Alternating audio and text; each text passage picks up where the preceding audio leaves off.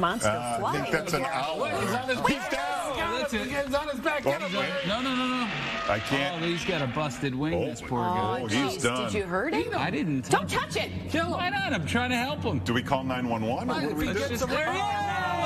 Freedom! What a glorious story that was happening on live TV. You're welcome. Get him.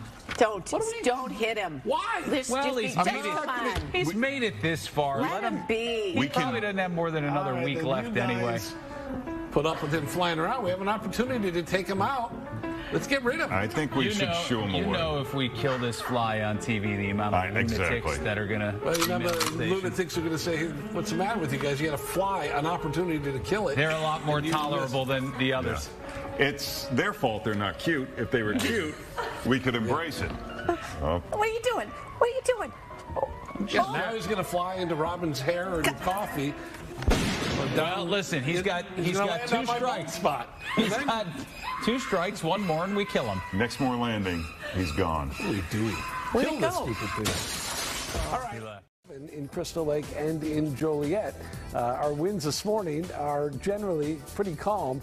That blasted fly that I said we should have killed Now. just landed on my head a second Oh. ago.